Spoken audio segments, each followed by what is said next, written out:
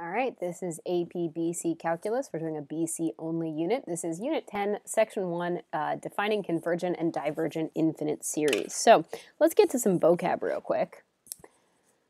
In Unit 10, we're going to learn many methods to determine if an infinite series, meaning a sum of infinite terms, converges or diverges. So let's learn what those two words mean first. So first thing, the nth partial sum of a series means the sum of the first n terms in a series. Okay, so there might be infinite terms, but we're only looking at the first n of them, like the first five or the first 10 or the first two. A convergent series, uh, or a series that converges, uh, means that the limit of the partial sums of the infinite series, as n gets very large, is a single finite number. So essentially, it's saying that the infinite terms sum to one single finite number. And that could be a big finite number like a million, or it could be a small finite number like two. Uh, or it could be a negative seven, but it's a single finite number. Uh, so, so the sum of the first uh, million terms and the sum of the first billion terms and the sum of the first, uh, I don't know, like 8 billion terms, all of them seem to be converging to a single finite number. Uh, a divergent series, or a series that diverges, uh, is a series that does not converge. So essentially, there's a bunch of different ways this can happen, but, but the thing I just described for convergent series does not happen. Uh, usually what this means is one of two things. Either the sum is an infinite value, right, like all of the numbers would add to something infinite, or the sum uh, does not converge to a single finite value. So uh, we'll see an example of that in just a second. And, and again, we're going to spend an entire unit doing this, uh, but here's the idea. So let's do a quick review of precalc. Let's find the indicated partial sum. So if I use this notation, right, the sigma notation, right, what S sub 4 is going to mean is it means I add the first four terms. So I'm going to start with plugging in I as 1, so that's a 1 squared, right, that's when I is 1, plus then I do I is 2, right, uh, plus when I is 3, plus when i is 4, right? So that this would be the, the first four terms, right? That's why that's s sub 4. Uh, so I'm going to get that this is a 1 plus a 4 plus a 9 uh, plus a 16, right? And I'm pretty sure that we get that that's a 30. All right, so uh, go ahead and try P1, the same idea. You're going to do a quick review of precalc, right? You're going to find S sub 3. So that means the sum of the first three terms. The first term is 1 over 1. The second term is 1 over 2, because k would be 2, and the third term is 1 over 3. Uh, now, this one's a little trickier just because you need to get a common denominator right. I see that the easiest common denominator is 6's, so that's 6 over 6, uh, 3 over 6, and a 2 over 6. So I'm pretty sure I get that that's 11 sixths. Okay, so that's the, the third partial sum for that infinite series.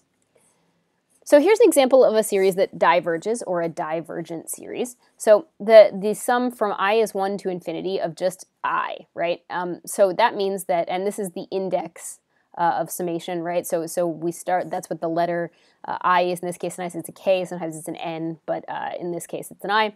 So I start by plugging in 1, so that's the first term. Then I plug in i is 2, so second term, i is 3, third term, i is 4, fourth term, and fifth term, and so on. Let's look at the partial sum. So the, the first partial sum is literally just the first term. It's just a 1. The second partial sum is the first two terms, so 1 plus 2 is 3.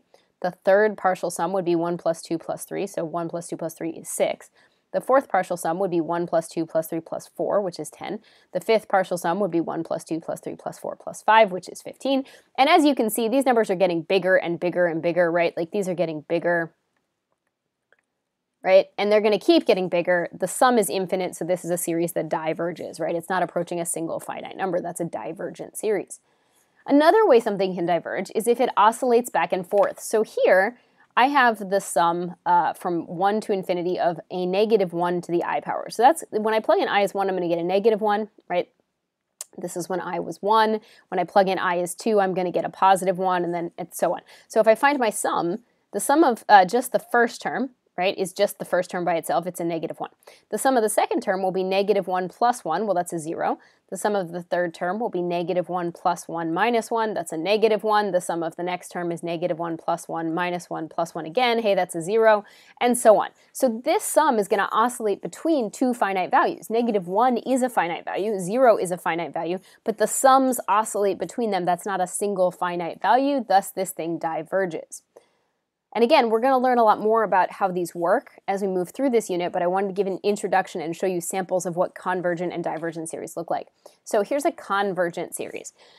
Uh, we'll address geometric series more in the next video, 10.2. Uh, but here's a sample of a convergent series. Specifically, this is geometric where the r is 1 half. So this series converges to 2. uh, but most of the time we won't know what value a series converges to. We only know that it converges. This one happens to converge to a specific value. So here I start at i is 0, and I do uh, a 1 half to the i power, right?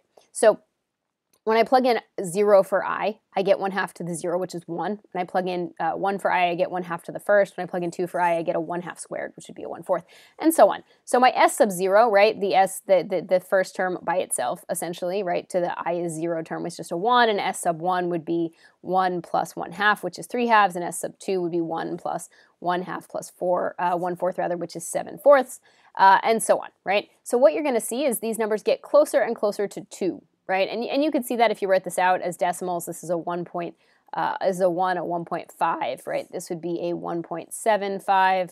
Uh, this is probably something like a 1 point, what would it be, 125, right? So uh, 875, right? Uh, and I don't really feel like doing this one, but this is only 1 16th shy of, so they're getting closer and closer to 2. So, um, so, so this is a series that converges. Again, in this case, it converges to a specific value that we know what it converges to. That's not going to happen for us in most series. We're just going to be able to say converge or diverge, not a specific numerical value. All right, and then if we look at this last slide here, uh, so determining whether series converge or diverge is essentially about working through a checklist of convergence and divergence tests. Um, in each video in Unit 10, we're going to address some of those tests.